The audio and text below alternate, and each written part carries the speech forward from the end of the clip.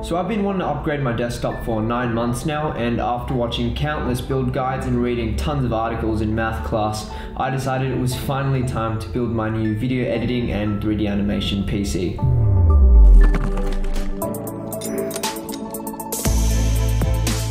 This is my current system. I've got a late 2012 Mac Mini with a Core i5-3210M and an Intel HD 4000 for graphics, along with 16GB of DDR3 RAM and a 1TB Samsung 860 EVO. Super outdated, I know, but this is what I use to create my whole Subnautica fan film on.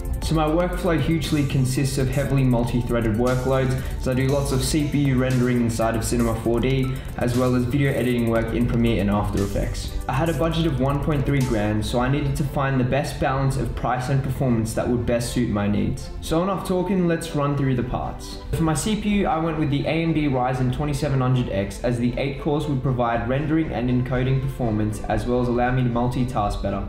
Now I know what you guys are thinking, why not go with 3rd gen Ryzen? Well, I got the 2700X for 199 which I actually found out was a pricing error, but they were nice enough to let me keep it. And with Gen 4 rumored to launch next year, I thought I might upgrade to that at a later date, or upgrade to the 3700X when prices drop.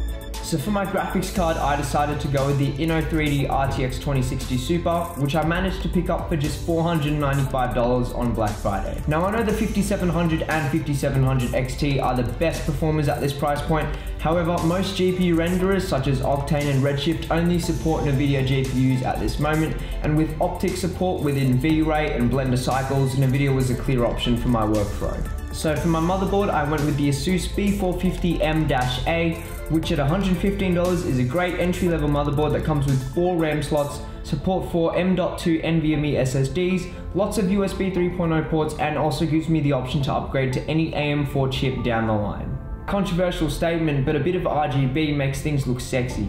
I went with the Corsair RGB Vengeance Pro 16GB kit at 3200 MHz, which I picked up for $139. So for my SSD, I went with the Silicon Power M.2 NVMe 2280, which was $177, advertised read-write speeds of up to 3,400 megabytes and 3,000 megabytes respectively. For my power supply, I decided to go with the Cooler Master Masterwatt 650, which is a bronze rated modular power supply. And at just $89, this seemed like a great entry level option from a well known brand.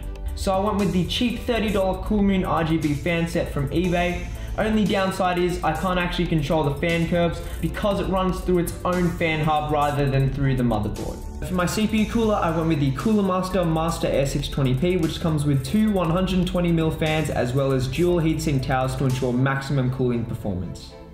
Finally, for my case, I went with the Cooler Master Masterbox MB520 Tempered Glass Edition, which is a mid-tower sized case with lots of room for cable management, component clearance, a power supply shroud, as well as aggressive front intakes on the dark mirror front panel to ensure maximum airflow.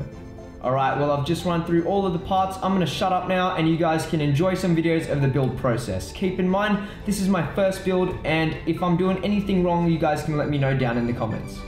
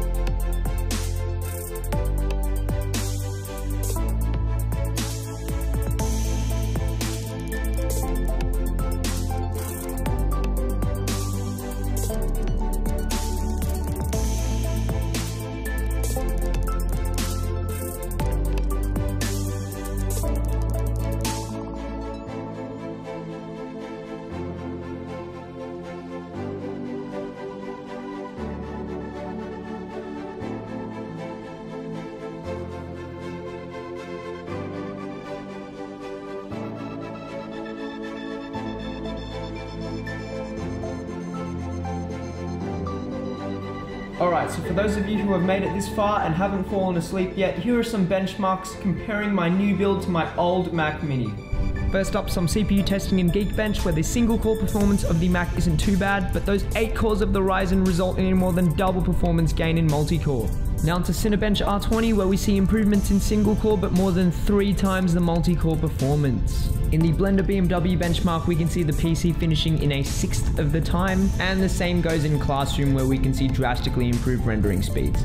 In Corona the PC finishes in a third of the time Moving on to graphics now, we can see in Unigine Heaven and Valley the RTX 2060 Super absolutely destroying the old Intel HD 4000. Now for some content creation with Premiere Pro's Warp Stabilizer, as well as After Effects 3D camera tracking, and finally encoding a 3 minute 4K clip to 1080p high quality.